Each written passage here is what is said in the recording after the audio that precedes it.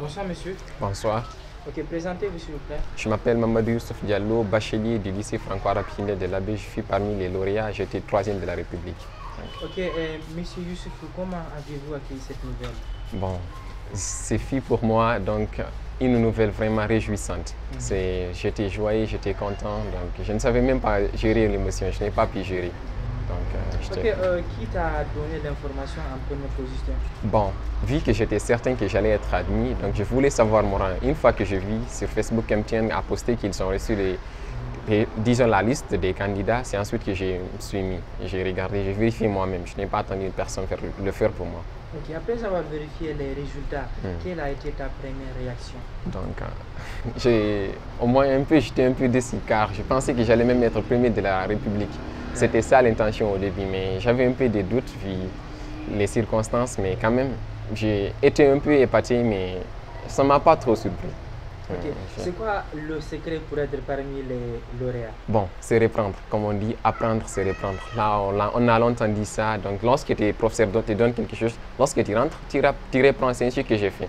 Et encore, j'ai fait, on a fait un groupe de révision avec mes amis à l'école là-bas. On restait là-bas de 7h jusqu'à 18h, excepté deux jours seulement, vendredi et samedi.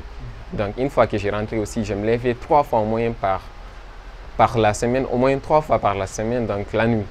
De 2h jusqu'à 6h, je révisais. C'est comme ça que j'ai fait, alhamdoulilah. C'est pour cela que je suis défini encore beaucoup plus chétif. hein, vous voyez. Ok, euh, certainement il y a beaucoup de tes amis qui n'ont pas eu. Mhm. Quel appel as-tu à lancer à l'endroit de tes amis là? Donc, c'est toujours persévérer et sachez que, et qu'ils sachent plutôt que la patience. Donc, c'est dur, mais ce qui viendra après, c'est très important. Car Dieu dit Innama ajrahum bi. Allah récompensera ceux qui, sont, ceux qui ont persévéré une récompense sans limite, sans limite, les jours de résurrection. Walakin. Mais encore, je les encourage. Et même moi ici, j'ai échoué. hein. Lorsque je faisais le BEPC, j'ai échoué. Donc, mais une fois que j'ai repris, je suis premier de la région. C'est ensuite que j'ai su que tout est possible. Et aussi, ils peuvent faire mieux que moi. Donc, je les encourage. Ok, tu veux faire quelle euh, filière à l'université pour devenir quoi? Donc, euh, je suis sûr que je ne ferai pas l'université en Guinée. Vu encore que Doumbouya, ou plutôt le président Doumbouya a ramené donc, les bourses. Si j'arrive à être bénéficiaire, je suis sûr que je ferai la théologie d'abord, c'est-à-dire les études religieuses, car il faut préférer l'étude, plutôt la vie qui demeurera que celle mondaine. Donc, ensuite, je vais essayer de voir si j'arrive à terminer.